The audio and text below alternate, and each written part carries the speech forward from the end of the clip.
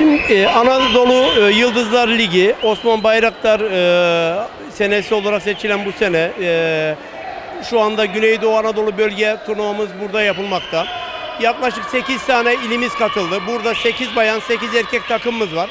Bunlardan da yaklaşık antrenörle birlikte 264 tane e, misafirimizi burada ağırlıyoruz. Bunların e, aynı zamanda e, buradan sonraki e, derece yapan sporcularımız Türkiye finaline göndereceğiz buradan. Ee, aynı zamanda burada e, depremde 11 ilimizde e, hayatını kaybeden e, gençlik spor personelimizi de unutmadık.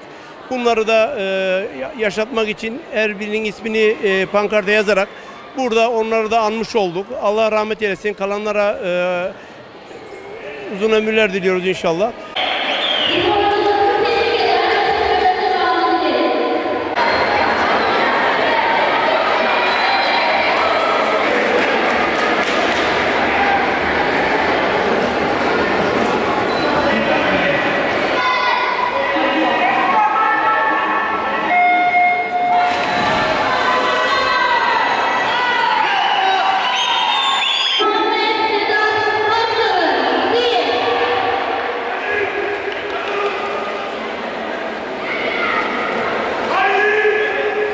Иди